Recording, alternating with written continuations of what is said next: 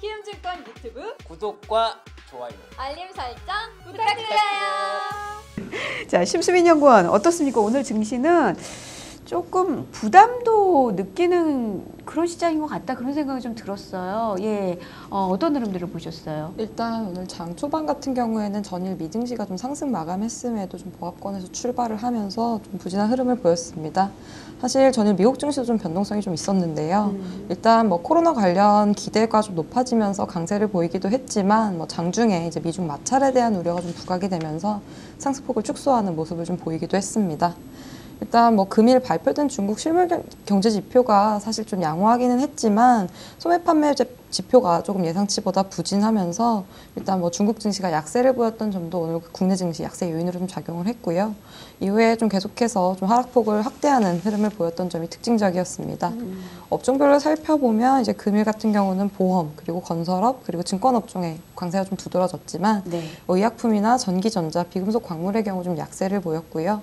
수급 측면을 살펴보면 개인은 순매수세를 보였던 가운데 외국인과 기관이 순매도세를 보였고 금일 기관 같은 경우는 연기금이 좀 주도를 했다라고 보고 있습니다. 네, 알겠습니다. 음, 그러니까, 그러니까 뭐 흐름은 다 계속 꾸준하게 가는데 여기에 대한 시장 반응이 좀 격렬하게 나올 때도 있고, 어, 아니면은 좀 어, 그냥 넘어가는 그런 지나치는 경우도 있고 그런 부분인데 오늘은 좀 하방 쪽으로 좀 나오는 이슈에 대한 접근이 있었던 것 같은데요.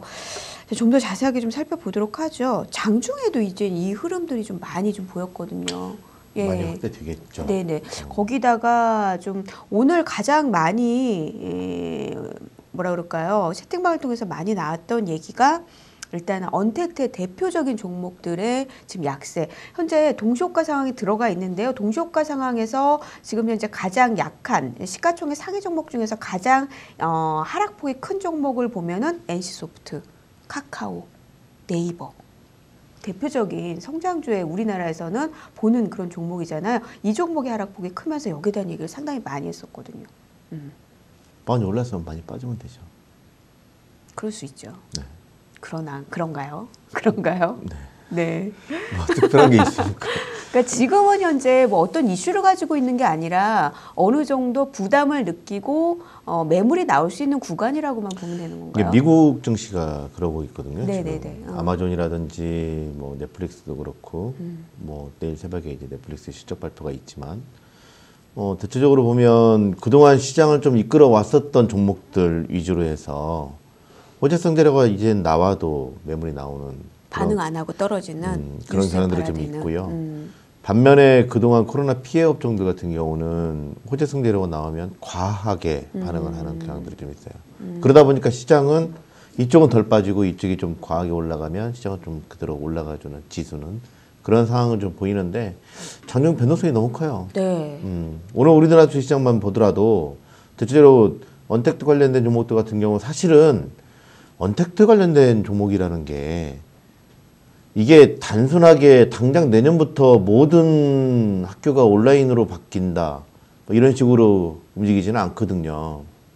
음, 그러니까 사실 그게 제일 온라인화된 게 가장 빠른 게 유통이었잖아요. 그렇죠. 이제 그러니까 그런 부, 그런 식으로. 그런 부분들이 이제 바뀌는데 네, 네. 그게 이제 어떻게 바뀌는지 아무도 모르죠. 이게 언제 바뀔지는 모르잖아요. 음, 음.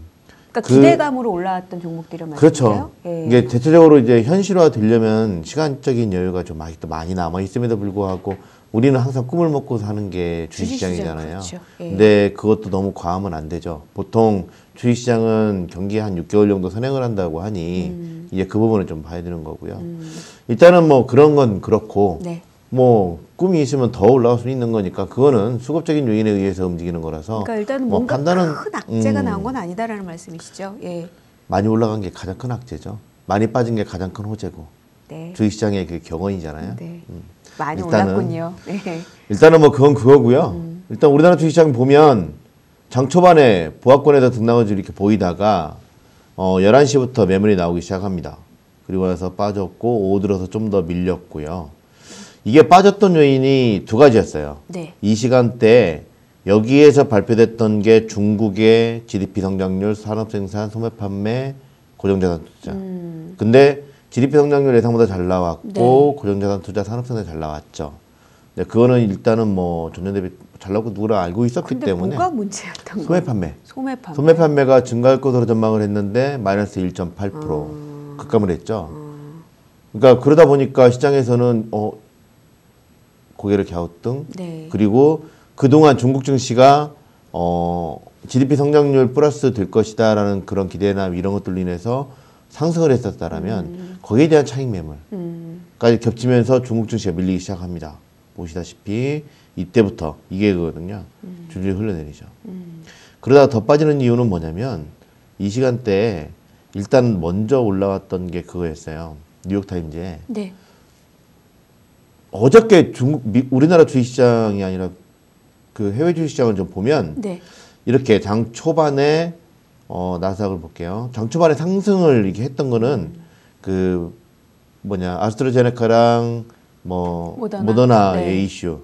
근데 모더나 같은 경우는 논란이 좀 있었지만 네. 일단은 아스트라제네카가 여전히 존재를 하기 또 때문에 뒤에서 또 끌어 밀어줬더라고요. 어, 거기다 이제 폼페이오가 중국에 대해서 문제를 삼으면서 미중 간의 마찰 우려가 높아지고 모더나가 고점 대비 10% 빠지면서 어, 대체적으로 그다음에 대형 기술주가 줄줄 흘러내렸고 여기서 트럼프가 그 얘기를 했어요. 무슨 얘기를 했냐면 아, 나 중국과 긴장 강, 긴장을 또 확산시키기를 원하지 않아. 네. 어, 그리고 중국 고위 관리들에 대해서 추가적인 제재 조치는 없을 거야. 없을 예정이야.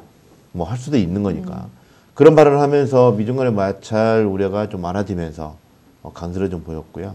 어, 그러면서 이제 납보고 좀 축소했고 상승폭 좀 확대되다고 보시면 될 것 같아요.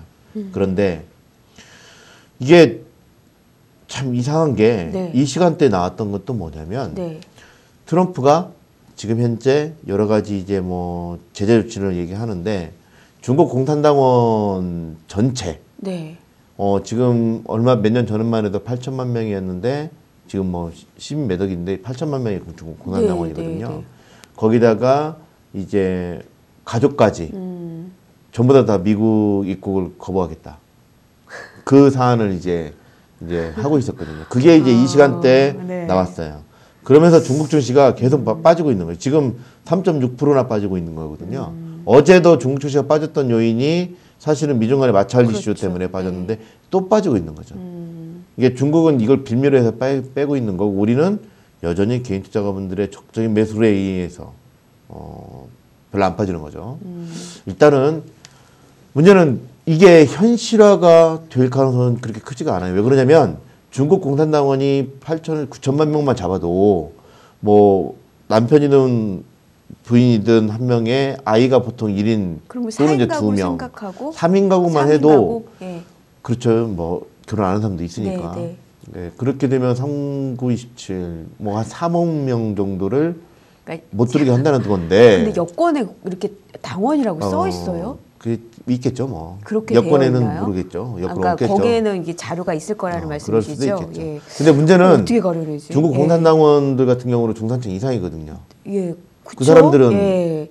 중국 내에서의 대학도 있지만 음. 미국 내의 대학은 유학을 많이 가거든요. 가장 많이 가지 않을까요? 그렇죠. 예. 그러면 가장 큰 요즘에 얼마 전에 왜 온라인 그 관련돼 가지고 그 유학 유학생 비자 취소를 예, 폐기를 예. 했냐면 네네. 그걸 하는 순간 미국 대학 중에 상당수가 무너지거든요. 대부분이니까 이제 먹고 사는데 그러니까 돈을 저- 학자금을 주는 데가 이제 뭐라 아 뭐라고 해 등록금 받는 데가 중국인이라고 그렇죠. 얘기를 들었거든요. 예. 이제 그러다 보니까 이제 이게 현실화가 될 가능성은 네. 그렇게 크지가 않아요. 음. 근데 이제 중국 정부 당국에서 이거에 대해서 악랄하다라고 얘기를 해버렸거든요. 음. 그러면서 이제 미중 간의 마찰이 점차 확산. 근데 이게 하루마다 계속 바뀌어요. 그 전날에는 뭐 나쁘게 얘기했다가 뭐 홍콩 뭐 아. 그다음에 그러니까 도통 몰라서 그러는 거구나. 음, 그쵸. 예. 뭐가 자기가 무슨. 행동을 하는지를 예. 모르고 막 아무튼 이제 그런 식으로 해서 미중 간의 마찰이 확산이 돼 버리면 우리나라 주식시장도 더 문제거든요, 사실은. 이게 수출 국가들의 비애이죠. 네. 음, 그런 상황이긴 한데 일단은 중국 증시의 변동성이 커지다 보니까 우리나라 주식시장도 같이 밀렸다고 보시면 돼요. 물론 이제 우리나라 같은 경우는 수급적인 요인에 의해서 낙폭이 축소되거나 뭐 견고한 모습을 좀 보이고는 있지만 그렇죠. 중국이 이렇게 미중 간의 마찰이 확산이 되고 어쩌저쩌 해버리는 순간 2018년도처럼. 네. 근데 실질적인 행동은 못 하는 걸로 생각하시면 돼요. 왜냐면 코로나 때문에 경기가 위축되고 있는 상황에서 이것마저 만약에 문제를 삼아버리면 트럼프 같은 경우는 경기가 아예 혹시 중국이 심어놓은 스파이일 수도 있죠. 미국 경기 망가뜨리기. 갑자기 아무튼 뭐 그런 내용들. 때문에 네. 그런 내용들 때문에 우리나라 주식시장이 음. 뭐 매물이 좀 나왔고 반등을 못 하고 있는 요인이라고 보시면 돼요. 그러니까 받쳐는 주변 여건들이 올라가지 못하고 음, 있다. 주변 예. 여건들이 그렇게 별로 안 좋다 보니까 네네 맞아요. 네. 오늘은 보면은 미국 증시도 변동성이 컸고 뭐 오르고 내리고의 문제가 아니라 바- 장중 변동성이 좀 있었네라고 생각을 했었고 근데 중국이 또 우리 같이 열리면서 내려다 보니까 사실 그 안에서 이 둘 사이가 좋아야 우리 증시가 잘 가는데 그렇죠. 예 그런 흐름에서 좀 오늘은 좀 삐걱거리는 모습이 좀 많이 나타났었고 어 그러면서 그동안 많이 올랐던 종목들에 대해서는 차익 실현을 하는 그런 부분도 있었다라고 보시면 될 것 같습니다. 키움에선 미국 주식 살 때 40달러 드려요. 미국 주식 투자는 키움증권에서 시작하세요. 투자 시 원금 손실에 유의하세요.